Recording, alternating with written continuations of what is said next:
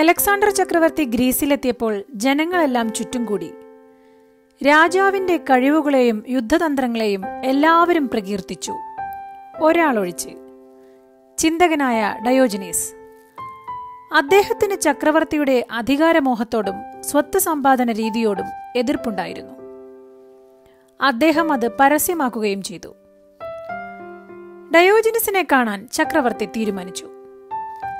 Alexander ചക്രവർത്തി ഡയോജിനസിനോട് ചോദിച്ചു താങ്കൾക്ക് ഞാൻ എന്താണ് ചെയ്തു തരേണ്ടത്?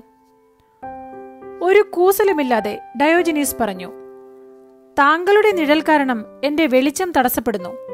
മുന്നിൽ നിന്നും കുറച്ച് മാറി നിൽക്കൂ. വർഷങ്ങൾക്ക് ശേഷം അലക്സാണ്ടർ ചക്രവർത്തി ഇങ്ങനെ എഴുതി ഞാൻ അലക്സാണ്ടർ അല്ലായിരുന്നുവെങ്കിൽ ഡയോജനീസ് ആകാനായിരുന്നു എനിക്ക് താല്പര്യം മുഖസ്തുതി കൊണ്ട് മൂടുപടം നിർമ്മിക്കാനാണ് എല്ലാവർക്കും ഇഷ്ടം. അടുത്തുനിന്ന് നമ്മെ അഭിനന്ദിക്കുന്നവർ തന്നെ അകലെ നിന്ന് അധിക്ഷേപിക്കുന്നതും നമുക്ക് കാണാം.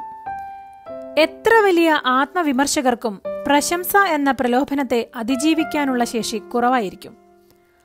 ആ ബലഹീനതയിൽ തങ്ങളുടെ അന്നം കണ്ടെത്തുന്ന ഒരു കൂട്ടം പാദസേവകരെയും നമുക്കവിടെ കാണാം. സ്വരക്ഷ നോക്കാത്തവരുടെ വിമർശനങ്ങൾക്ക് ചെവി കൊടുക്കണം. എന്തെന്നാൽ പിന്തിരിഞ്ഞു നോക്കാൻ ഉപകരിക്കുന്ന പ്രേരക ശക്തി അവയ്ക്കുണ്ടായിരിക്കും. നേടാൻ ഒന്നുമില്ലാത്തവർക്ക് നഷ്ടപ്പെടാനും ഒന്നുമുണ്ടാകില്ല.